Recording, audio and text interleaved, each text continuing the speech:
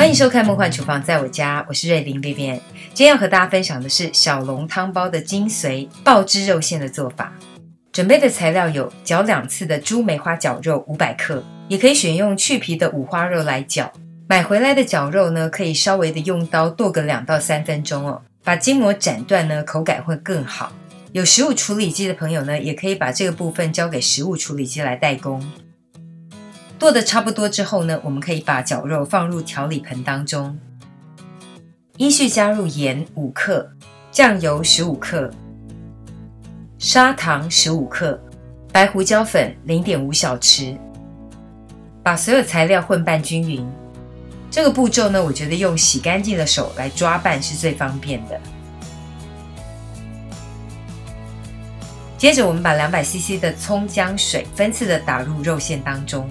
葱姜水的完整做法呢，可以参考之前葱姜水影片的分享。这个过程其实就是肉馅的打水，可以去腥，也可以增加肉馅软嫩的口感。最后淋上适量的冷压麻油，再稍微的搅拌均匀，然后把这个基础肉馅放入冰箱冷藏至少三十分钟。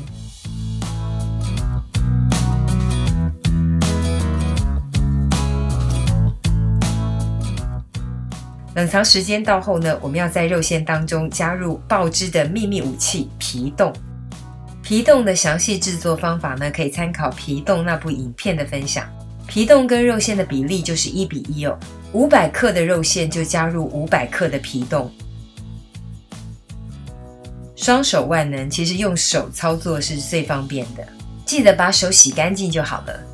我喜欢用抓捏混拌的方式，可以比较均匀一点。整个抓拌均匀，就是完美的爆汁肉馅喽。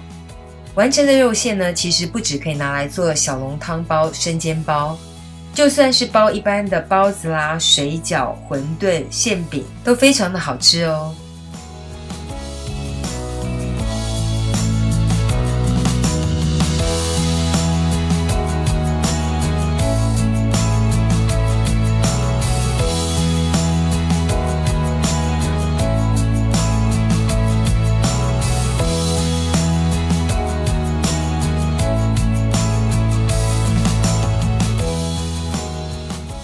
上就是今天的食谱分享。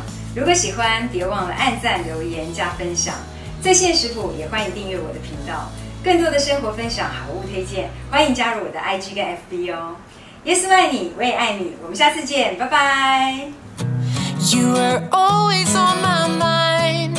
Try to make it out alive, but we let it slip away. If we only had a second shot. we'd find.